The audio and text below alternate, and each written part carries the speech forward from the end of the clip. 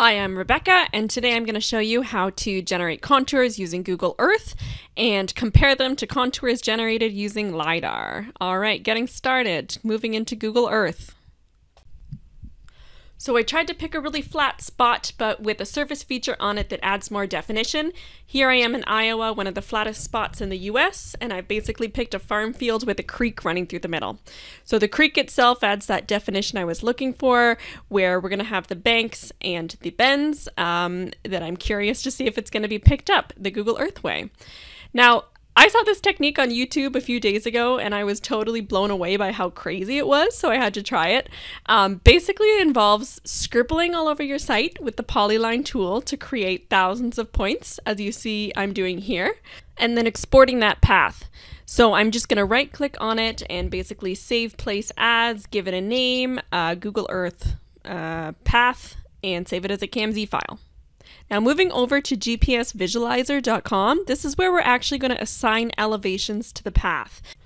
Once you click on convert to GPX, basically just upload your KMZ file and uh, make sure right at the bottom here, add DEM elevation data is selected. There's a bunch of different options uh, with different resolutions, different sources. I just chose best available and click on convert. Once you've done that, you're gonna have a file link here so you can download that data and I am going to open it up in QGIS to actually generate the contours from it. So in QGIS, click on Add Layer, Add Vector Layer, um, just navigate to the location of your file. Here's mine, and add that to your map.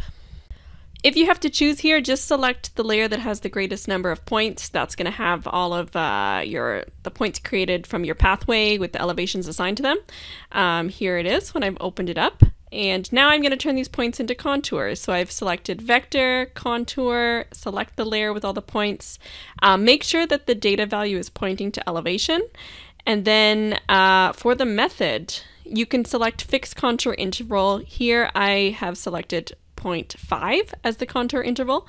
Um, it's going to make you choose a number of contour lines, just make sure you check this message down at the bottom. It'll tell you sort of the minimum number you need to have in that field there. Um, once you get it right, click add and your contours will be generated from those points. So here we are. Um, let me change the color. It's a little bit hard to see. The screen is lovely, but not very visible. So we're going to change it to black Great. And um, let's export these into shapefile format. So I've just right clicked export um, format Esri shapefile and I'm going to give it a name Google Earth Contours. I forgot to select a location. Um, just make sure you save it somewhere um, like downloads or documents. Otherwise, sometimes it doesn't write correctly. So I've just saved that to um, my desktop and I'm moving over to Equator to get contours from LiDAR now. So this is the same spot as I was working in Google Earth. Uh, you can see the farm field and the creek. And I'm basically going to load in the USGS LiDAR dataset so that I can generate contours from the LiDAR at the same interval, so at a 0.5 meter interval. Um, this is going to allow me to compare the two methods sort of side by side. And at the same time, I am going to bring in the point cloud, so the actual LiDAR points, so that we can have a look at those as well the contours here, they are streaming in and the LiDAR should be finished any minute now. Um, I'm just going to go into the layers manager here and turn off everything other than LiDAR. I just want to talk about the LiDAR for a few minutes. So turn off these contours, turn off the base map and adjust the color of the LiDAR point cloud so that it's just black and white so we can see it a little bit better.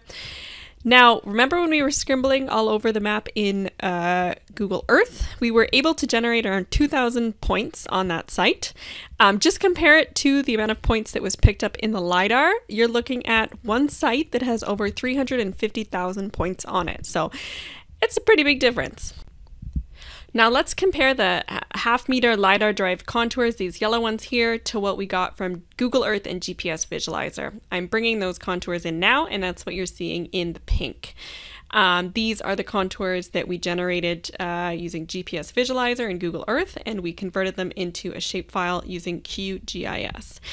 Now, let's see, I just, the pink's not super easy to see. I don't know if we're to get a better color here, but maybe let's try uh, a bit of a blue I don't know if that's better, but uh, take a look at this swale here. You can see how much uh, how much detail has been lost compared to the LiDAR. It's, it's totally missing the bottom, especially in the creek here. There's a ton of detail in the yellow LiDAR contours that you're just not getting at all. Um, you'll see in the gen- generally in the flat area, it matches up so-so. It's just where there's more dramatic changes in topography over a short amount of time, like this road here, where you totally you totally miss it the Google Earth way. So, um, looking at the lidar, especially along the road here, look at this section here, um, the yellow lines. You can see it's picking up that road very well, and in the blue lines, you're not getting much of it. So, I wanted to compare a little bit more closely. I took a couple sections, one through the the swale, one through the road, and I'm looking at them here in Excel to see how they actually pan out when you when you graph them. So this black line that is the lidar, and the dashed line that is the um, the Google Earth GPS visualizer elevation uh, cross section. So look at these ditches on either side of the road. It, they're very clearly made out in the lidar section, but uh, the Google Earth way just kind of slices right through. You're not getting much here. And similarly in the swale cross section, it matches up okay along the slopes, but you're you're missing this whole area down at the bottom. So it's just not super reliable for those areas where you need a lot more detail. So what did we learn today? If you scribble on a big mess all over Google Earth, you can generate some pretty alright contours, but you're going to be missing a lot of finer detail where there's more dramatic changes in elevation. Um, when you need more detailed sort of elevation understanding of the site, it seems to make a lot more sense to go with the LiDAR. But uh, as I said, the, the Google Earth way is so so and it'll put you in the right ballpark. So I hope this has been helpful. I really enjoyed comparing the two methods for you today. Uh, let me know if you have any suggestions for future videos, if you have any questions or comments in the section below. And thanks for watching.